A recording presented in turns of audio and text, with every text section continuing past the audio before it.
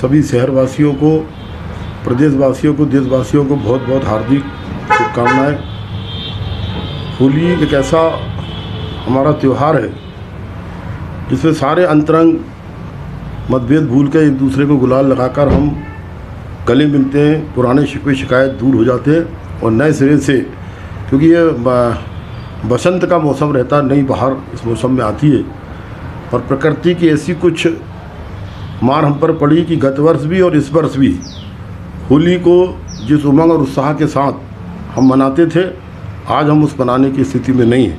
आज हम, मेरी होली मेरा घर की तर्ज पर आज हम होली मना रहे हैं। मैं सभी से कहना चाहता हूँ कि कोरोना गत वर्ष की अपेक्षा इस वर्ष और ज़्यादा गति से फैल रहा है।